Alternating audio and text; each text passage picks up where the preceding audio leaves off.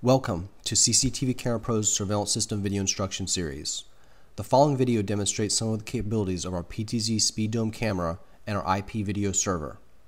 The IP video server converts any analog camera to an IP security camera by providing Ethernet video output and embedded video server software that supports remote access and controls for the PTZ camera over an IP network. The IP video server can be used to convert any CCTV camera to an IP security camera.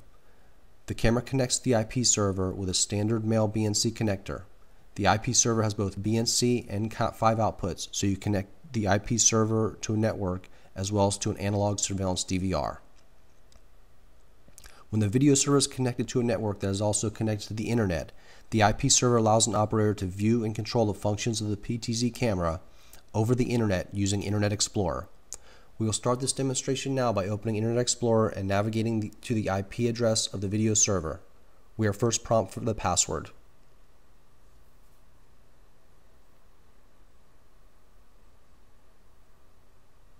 Once logged in, we will see the initial view that the camera is focused on. We will then switch to the PTZ camera controls so that we can move the camera. First, we pan the camera to the right. Then we tilt the camera view up.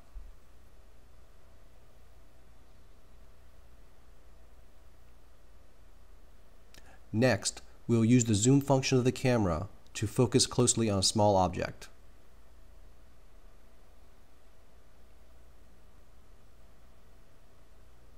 As you can see, the camera automatically focuses very quickly after you adjust the pan tilt or zoom angle of the lens. Next, we zoom the camera's view back out and pan further to the right to view the front door.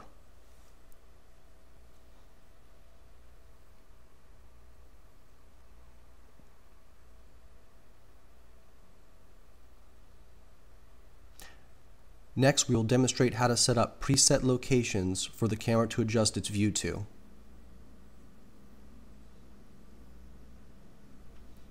First, we adjust the camera view to the location that we want to configure a preset view for.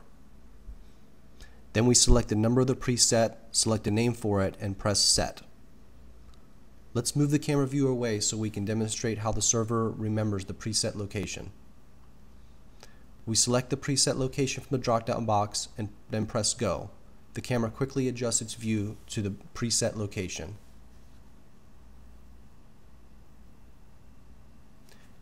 Here are some of the configuration options that the IP video server supports. On the system setting page, you can select the type of PTZ camera, the ID of the camera, and the baud rate that will be used. You can also set up the port that you want to use to connect your network and to communicate with the IP server.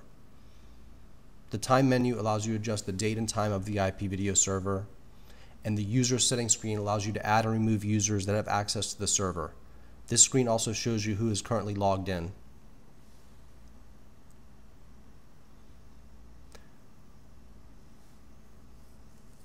The motion and alarm screen allow you to configure your security camera to record and send alarms on motion detected events.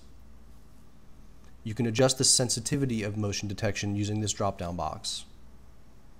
By setting up the mail settings section, you can configure the video server to send you an email alert when motion is detected by your camera. You can also configure the surveillance images to be transferred via FTP to a server that you designate by setting up the FTP settings.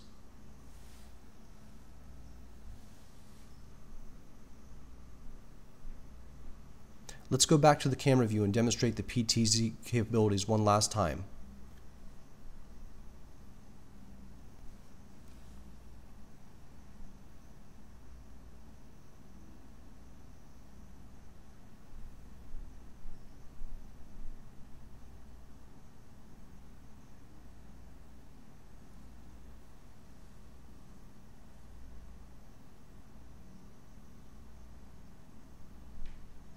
With the zoom capability of the camera, we demonstrate here how well the camera can focus closely on objects.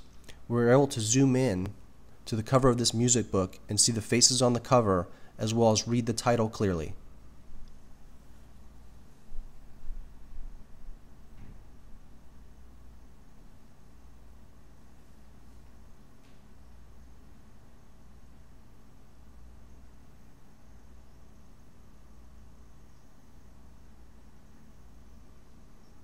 We hope that this video is helpful in demonstrating the capabilities of CCTV Camera Pro's PTZ security camera and IP video server.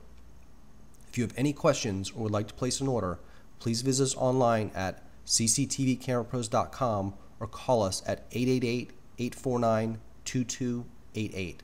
Thank you for watching.